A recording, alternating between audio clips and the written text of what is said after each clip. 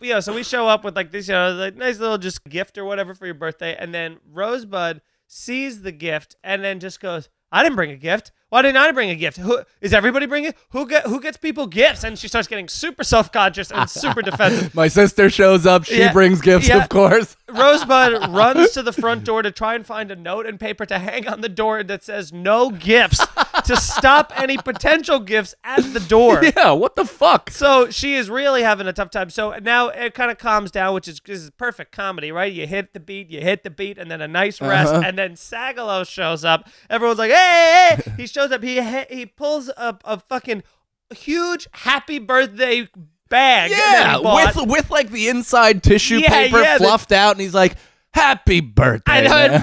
Rosebud goes from yay to seeing that bag and just blood red mad. It was the first time her forehead's moved in three months.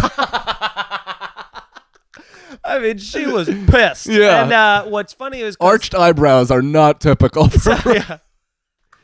So you reach in, you pull it out. No, well, I so I'm immediately like, thanks, Brendan. I appreciate. it. Give him a handshake, welcome him to the party, and I feel the bag. I'm like, oh, this is like really bottom heavy, so I don't think it's like a tall present, Right. And uh, and then I reached in, and like I felt cold, Yeah. and a bottle, and my initial delusion that I have such good friends are like. Wow, Brendan got me a nice bottle of whiskey. Like that was so thoughtful. I can't believe nice he did cold that. bottle of yeah, I don't know why.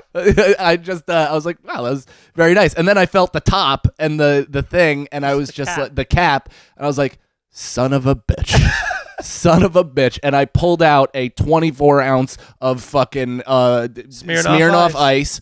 Also, the what is that mimosa edition? Yeah, which yeah. was exactly what we iced him with on New Year's Eve, which you already know because this is the Sopranos the podcast, and you've been listening since motherfucking day one. Yup, yup. So he, we got him with a six pack, which you know six separate times is unacceptable on any type of level. This was one time, which was a dynamite, dynamite get, and fucking shook me out of my boots, and I immediately accepted responsibility. Then got on my knee and chugged that like a fucking Watch it on our chugs Instagram. jizz, baby. Yeah. I mean, I opened up my throat, and that stuff went cascading down like it was nothing. Yeah, it was. He did, he did it all in under thirty seconds. Is that it right? On, it was on the Instagram video. and Goddamn so, right. what the funny part was is when he was on the way over here, Sagalow was texting me. He goes, "All right, I'm getting closer." He goes, "Um, he goes, did you get him something for his birthday?" And I go, "Yes, but you should get him a Smirnoff Ice." And he was like, "Oh my god!" Oh, you gave him the idea? I did, I did. Oh man, I had such high thoughts of Sagalow until right now. I realized he didn't even do it.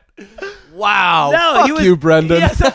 no, he admitted it at the time. I he guess did you didn't hear it. Oh Uh, no, I was, my ears were ringing because of that fucking mimosa. sugar. Yeah, dude, drinking that is like taking a flash grenade. It's like Yeah, yeah. nothing you can possibly perceive anything. He said so. He said he was walking around on the street with just the bottle, like panicking and going into places, and he couldn't find a bag, you know, a little vehicle to Oh deliver my god, this to you. walking down Nostrand Ave with a bottle of Smirnoff in between all this homeless is like the gauntlet in American Yes. Gladiators. So everybody's trying to get it. Yeah, toss you the he's just got a big Q-tip. He's hitting people with. So no, so this woman apparently walked up to Brendan, and she was like. Are you looking for something? Because he's like, "Eh, eh," you know, and then she goes, he goes, "Ah, I'm trying to ice my friend, and I need a bag to hold this in. She goes, right there, sugar, and then points to a place, and he was like, thank you, and he like skipped away like Charlie in the Uh-huh. chocolate factory, and then he fucking he went and got the bag and did it, which is so funny because we left like probably like shortly thereafter, but within an hour of that happening, I see a video that we'll put on our Instagram of you just out cold. yeah, that's what happened, dude. Asleep I- until they started singing happy birthday and you snapped out of it like you were never sleeping.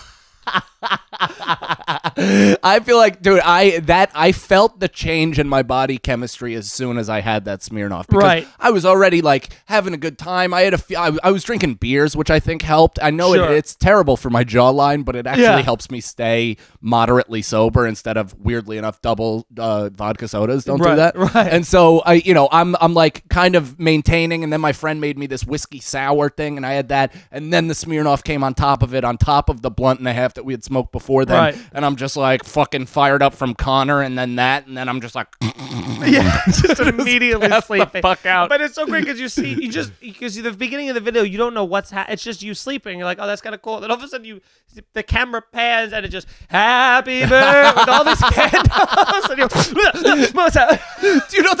at New York Comedy Club also.